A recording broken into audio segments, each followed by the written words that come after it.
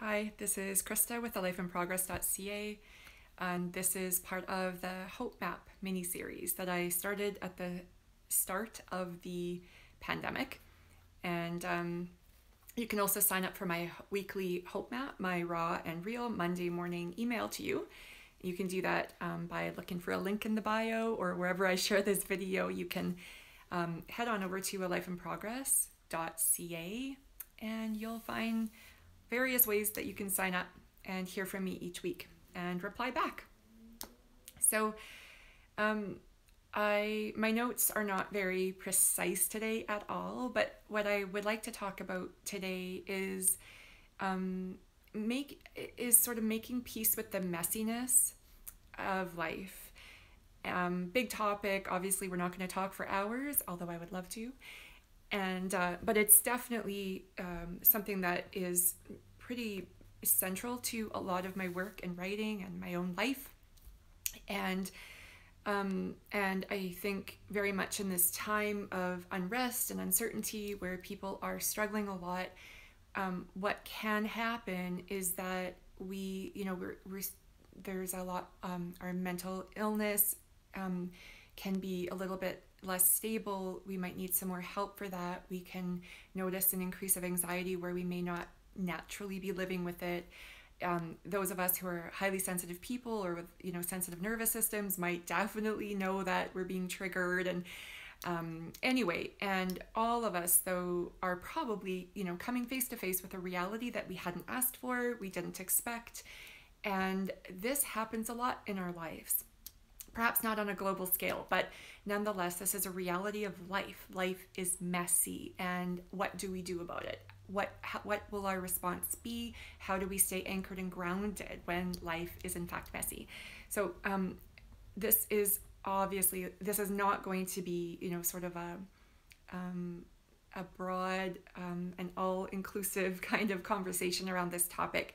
I just want to um, I have a couple key ideas that I want to talk about um, and I'm going to dive on in. And then, as always, we can connect outside of this video if you would like more information or want to connect on how we can work together to go deeper into this type of work.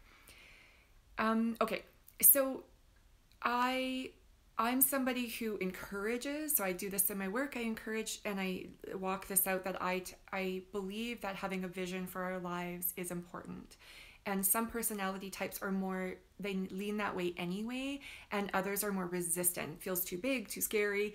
So but i work with a variety of um, you know people humans with different wiring and we look at different ways that can help them kind of ease into this idea of creating a vision for our life. And a vision um, typically it involves things like a sense of purpose which can be you know either for this season or a larger overarching sense of mission or purpose for our lives.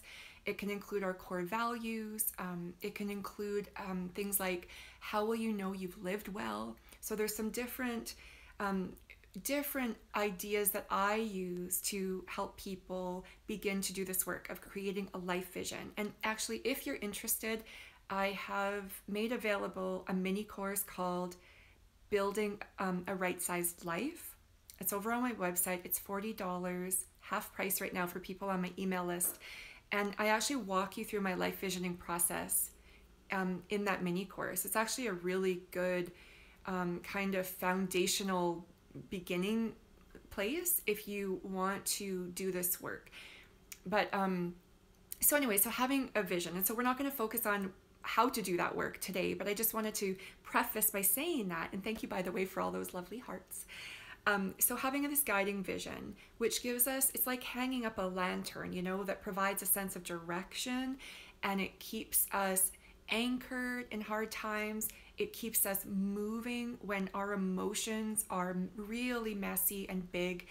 And we, if we just listen to instinct, we might curl up in a ball and never get up again but that vision can just be a, a guiding light that keeps us moving, taking the next step and the next step, even when life is uncertain, chaotic, whatever.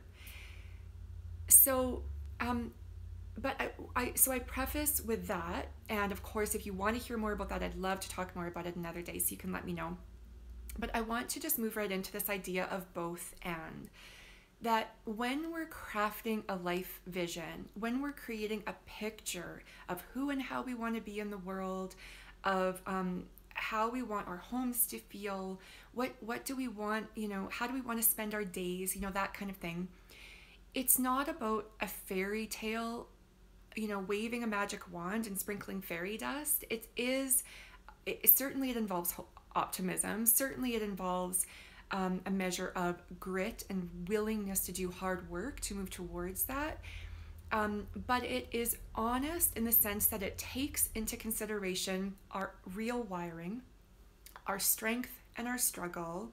As I mentioned, our core values, which will be different from other people's.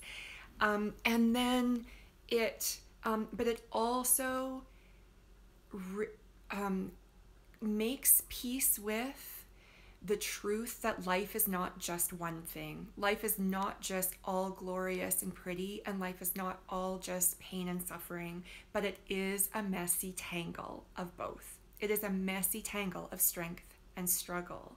And we as humans are a messy tangle of strength and struggle. And so when I do this work with somebody, I'm always coming from this perspective where we can get really thrown off track is when we create a fairy tale ideal that is impossible to live up to.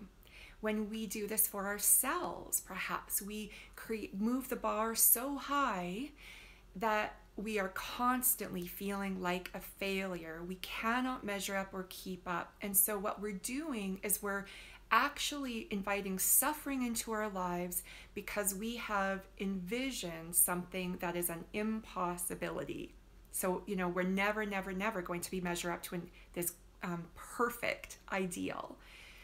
And so, what I think is super important here, if we're talking about the the pain and the messy, or coming to terms with, or making peace with the messiness of life, is that a lot of the pain is because is it's it's in here.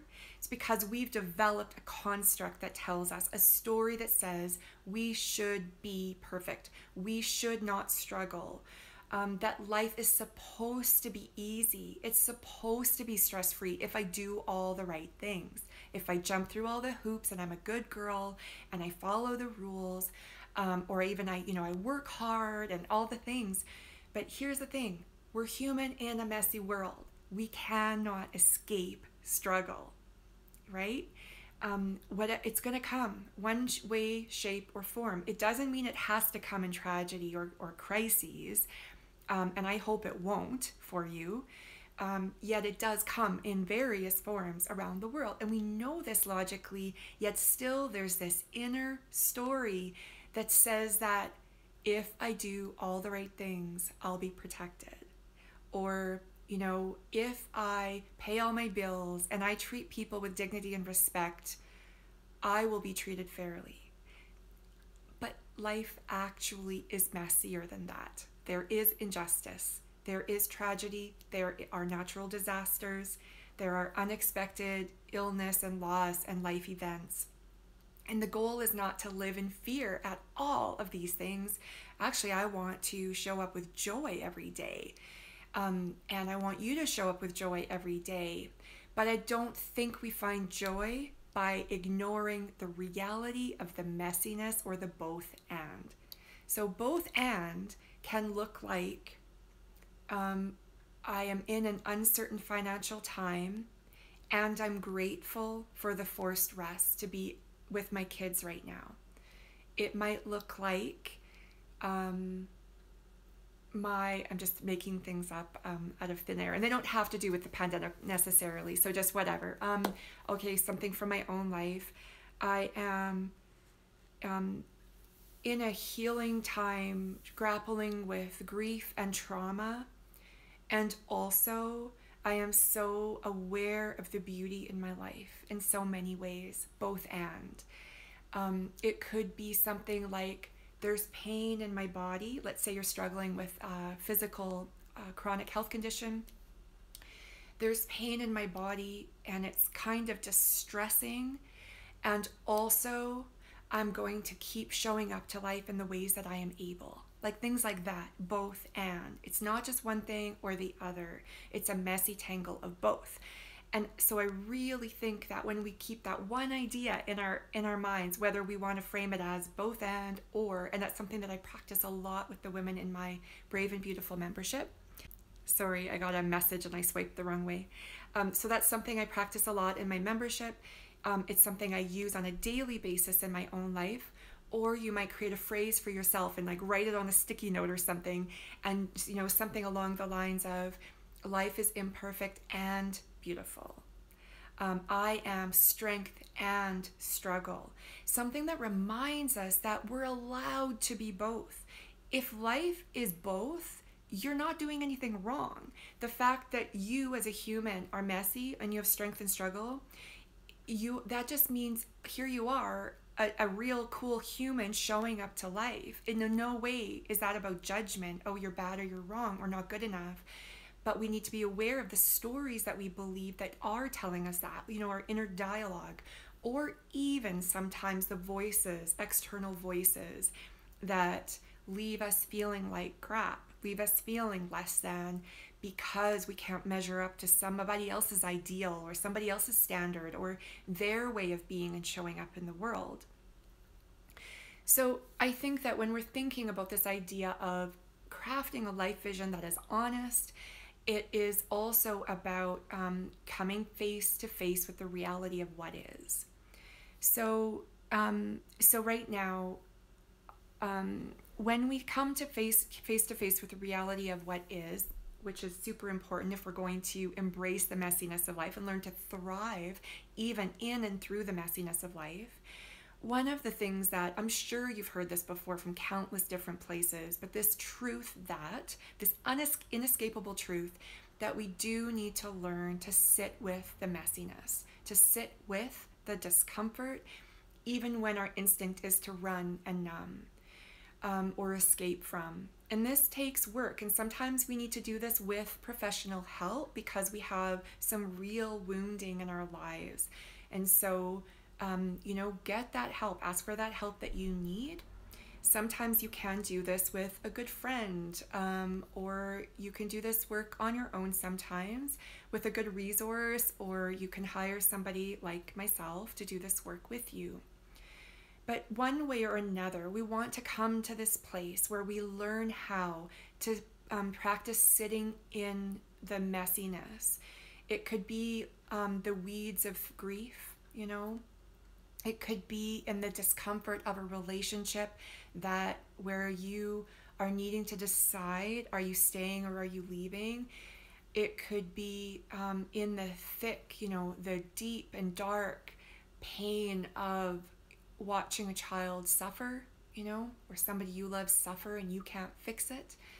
Um, it could be just as a human, like wanting growth, desiring healing and growth, and wondering, am I ever going to get there?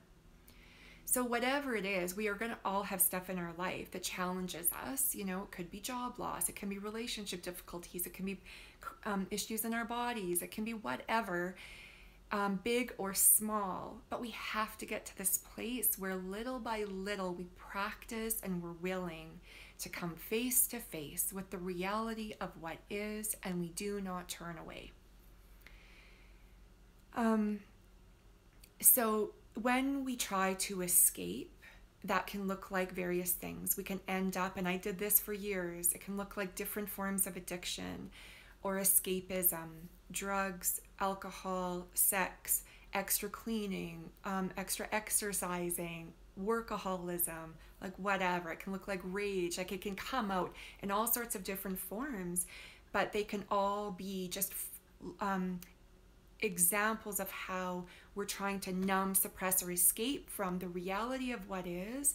We don't want to deal with it. We don't feel ready or equipped to deal with it. And so we kind of try to find another outlet, but it and even if it offers a temporary reprieve, it never actually does the trick, right? It tends to actually escalate problems or create new problems until we're ready or we feel safe to come on back and start practicing sitting with the pain, with the grief, with the discomfort, with the longing, with the uncertainty, and realizing that it won't kill us. We can do this.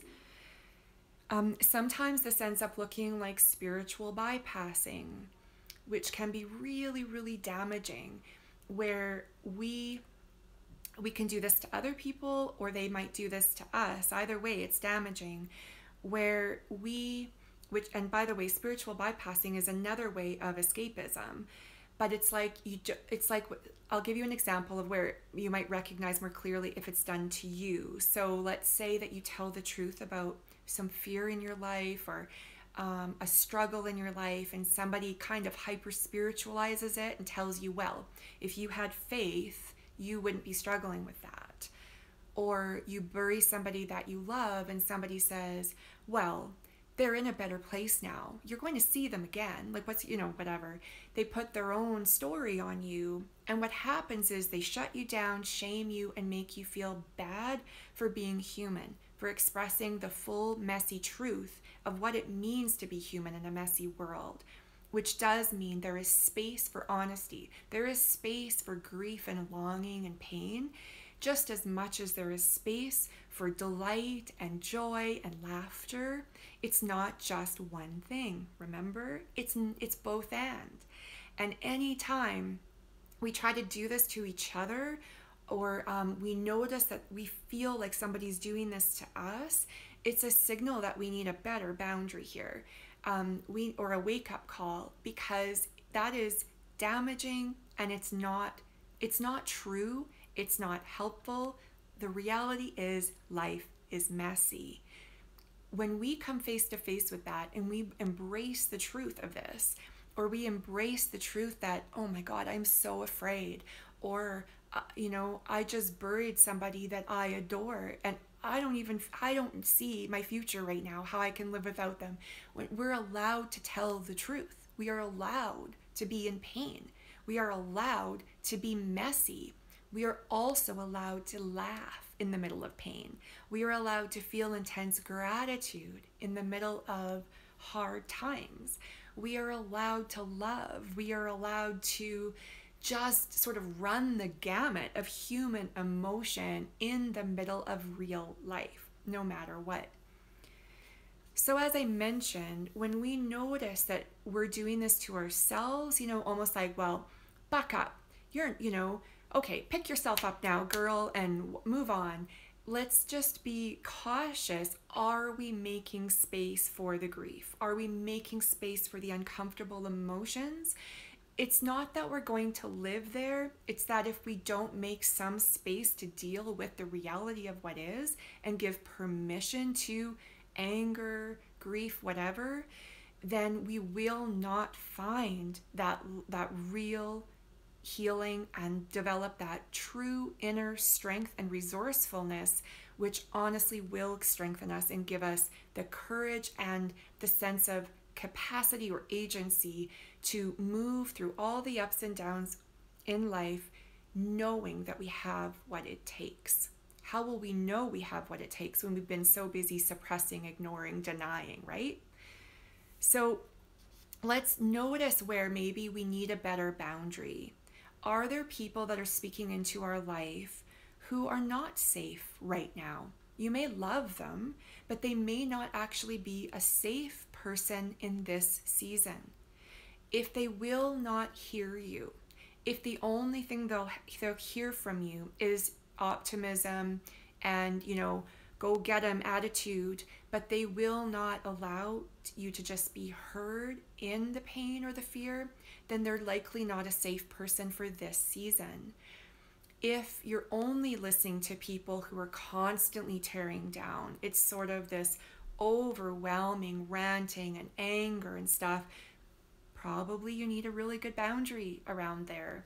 Um, or if you're reading people, if you're listening to my Instagram story and it's tearing you down, tune me out. If you're listening to it doesn't matter how famous the person is, but if you're using a resource that everybody else has loved, but there's something in it that right now it's making you feel less than or um, shame or guilt, probably not a voice that you need to be listening to in this season. So we can just be conscious of that. So, another part of this, like I always, always talk about a few different things. I'm always interested in self awareness, sort of mindfulness, noticing, observing, witnessing the truth of who we are, self compassion or self acceptance, whereby we come to peace with the reality of who we are, the reality of life, the messiness, the both and, the beauty of. And then imperfect action. I love practical application. I know that no matter what's happening in life, I always have a measure of power and control or responsibility to choose my response. I'm not a victim. I am not without any power. I didn't ask for a lot of things in my life. I wouldn't wish them on you or, or myself. And you probably have circumstances like that in your life, but here we are, right? Now what? So, even last time on the Hope Map um, little video, I talked about now what. But that to me is always a signal that um, I can now choose my response. So I can make space in my life for both and. I can practice sitting in all of the murky emotions of life. You know, as I mentioned, the grief, the the pain, the joy, the the delight, whatever, all of it. I can set good boundaries. I can really examine whose stories I've picked up for myself, whose voice I'm listening to. And then I do want to move over into okay, here I am. This is the reality in front of me. Now what? How will I respond? Um, and so this might look like and, and again remember that i'm not talking about a specific situation but i'm overall talking today about come you know embracing the messiness of life. So i might see where i need to loosen my grip on a precise outcome or on life looking and feeling and sounding one exact way in order to me to feel happy or whole. So I started out talking about how I advocate for creating this life vision, kind of handcrafting a life vision or building a right sized life aligned to our core values, our wiring, etc. But what can happen is that, um, as mentioned in the beginning, if we have set ourselves up against this, this sort of perfect ideal, um, we're going to constantly come into suffering, right? Meet face to face with suffering but what if we loosen our grip over and over again on needing life to be one precise way? Well, I think what happens is then we're able to show up with joy and on purpose to the life in front of us. So if I, I just almost six months ago, one of my, my firstborn died. If my life vision if my happiness, if my wholeness is has to be include him in my life, that all my three children are alive and thriving, then I'm in trouble, right? Because I didn't get to control that. All I can choose is my own response, which means I can make place for healing. I can work with professionals to help me through trauma. I can continue loving myself. I can continue showing up to my work. I can continue, you know, loving my girls. I, I have so many things that I can choose for myself. But one of the things I have to do is loosen my grip on my life needing to look, sound, feel one precise way in order for me to feel whole or happy. Do you see what I mean? I can continue aiming. And I do. I have actually quite a vivid sense of, you know, what I want my life to look like and where I'm heading.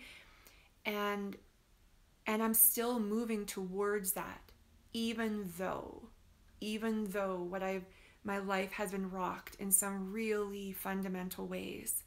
Even though I'm still moving towards that guiding life vision but it requires of me to come face to face with the reality of what is over and over again and to loosen my grip on a precise outcome. And again, when I do this, what happens is it makes space for me to be present today, to receive the gifts of this day, to under to witness my strength, to be it to keep showing up um, and and to realize that all is not lost all is not lost, and I still can show up to the life in front of me. So another thing that that, that this is a sort of imperfect action, a way that we can take action or ask now what. Another thing that we can do in the middle of messy times like the pandemic is to clarify our values. This is so, so, so anchoring. And again, this is really helpful when we're crafting that overarching life vision. What are your core values? They may be core values for your whole life. They may be core values for this year. They may be core values, you know, for let's say that you tend to think ahead in sort of five or seven year chunks of time. But I do encourage you to use something like um, the VIA uh, well, actually, that's your no, that's your character strengths. Um, I can't think of a title right now, but there's lots of free things online, quizzes and stuff where you can um, use those to help identify your core values for life or for this season of life. And what that reminds us is that no matter what circumstances are, I can still take action. I can still walk out these values in the middle of the messiness of life that doesn't change. So, an example, let's say that you have a, a value of compassion, you have a value of creativity, you have a value of strong, connected family. No matter what else is happening around you, you can always walk out those values. And that actually is incredibly anchoring or stabilizing. Um, Okay, and I'm going to end on this. And then another thing, finally, what I'd like to touch on as we talk about pain and the messy, um, or making peace with the pain and the messiness of life, making peace with the messiness of life in, in general, is that we want to take this larger vision of who and how we want to be, of what we want our life to look, sound, feel like, and then we need to translate that always into micro steps small daily habits that inch us forward into the life that we desire for ourselves. So, um, if we are only sitting with the messiness, you know, coming face to face with the reality of what is the hard stuff and making space, so that's good, and we make space for the feelings that come up the anger, the rage, the disappointment, the the hopefulness, the whatever, the good and the and the murky. We make space for all of it, but we stop there. We're still not building a life, right? So we do require action. There is a personal responsibility involved here. Where, as we mentioned, we might need to set boundaries around whose voice we're listening to. We might need to examine where we've ha- have this really tight grip on life, needing to look one exact way, or else we can't be happy. Um, we can clarify our values and look for practical ways that we can walk them out every day. And then we can look at our small daily habits. Are they conscious? Are they intentional or on purpose? Or are we kind of following status quo or drifting? Even in the middle of a pandemic, whether you're like busier than ever or you're at home and you're not quite sure what to do with yourself, we can make sure that at least some we've got some small daily habits in our lives that are really intentional and move us closer to the vision of who we want to be as people in the world and also how we want our life to look sound and feel.